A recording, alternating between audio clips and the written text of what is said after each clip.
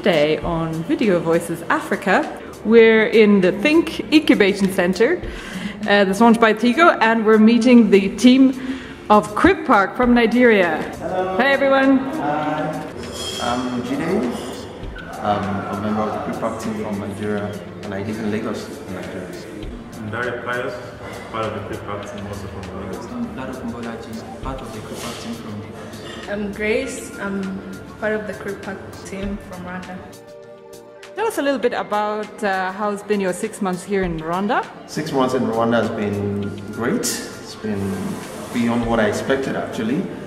Um, you could call it uh, a breath of fresh air from the typical daily hustle and bustle of the Lagos life. Living in the city properly itself has been great. Meeting great friends, the wonderful citizens and indigents of Rwanda and Kigali, Kigalians. I hope they were like that. And then again, everything has been has been great. So going back home very soon has been filled with mixed feelings. Uh, you miss here, and you also want to get back to really do what the business ought to be doing. Surprisingly, what the thoughts of the average person still has is what's happened over 20 years ago.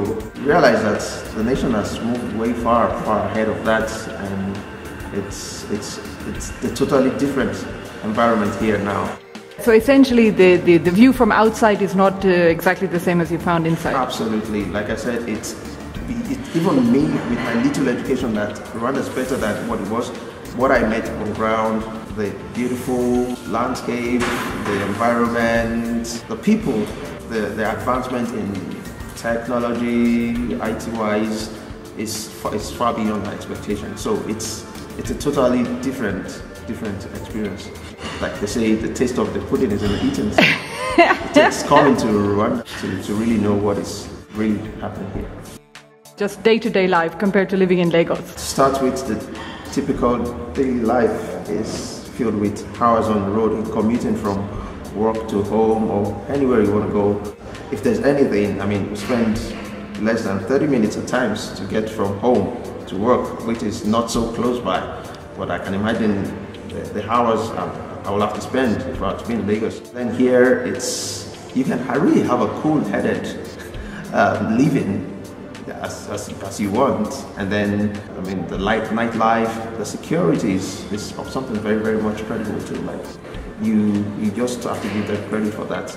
I mean, we've been out as late as 2 a.m. at times. There's nothing that can really go wrong, actually.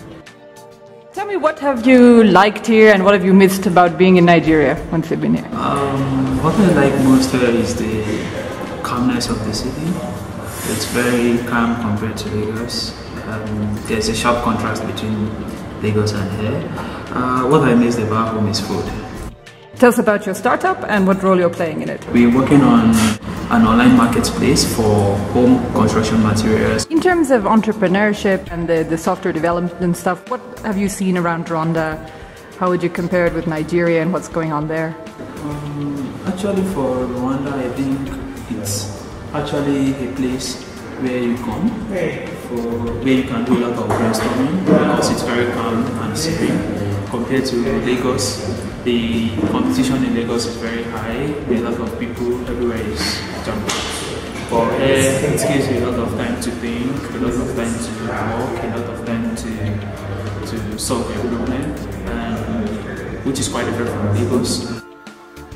Generally, what I've observed is, is the fact that the government is fully focused on a young um, generation to really drive the next phase of the economic development for the country. So, uh, be it in the IT industry for entrepreneurial um, um, projects or, or the agriculture, which is still more of the mainstay of the nation's economy, it's quite much more easier to venture out and start something here. So, um, for the tech space, the, the feel is that um, the, the students are not just looking forward to graduating from school and getting employed somewhere.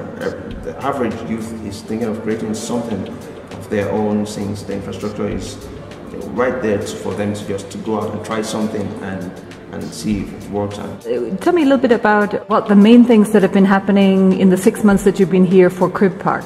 For our business, Crib Park, it has helped us really get to fine tune and get a proper focus as to the, the business niche, the, the problem we're trying to address with our business is focused on the housing industry and basically more of private home ownership for the person who's about to start a building project or wants to renovate it or wants to furnish the apartment.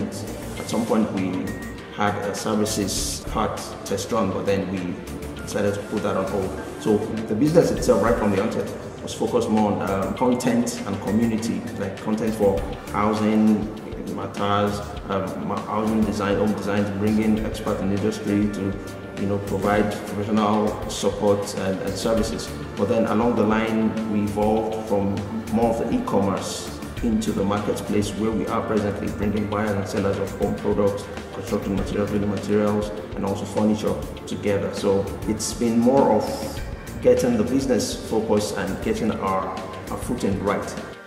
Cribpark.com poised to take over the housing industry, service industry. Yeah, excellent. Basically. Thanks very much, guys. Thanks, AFA. We're really excited to have you here.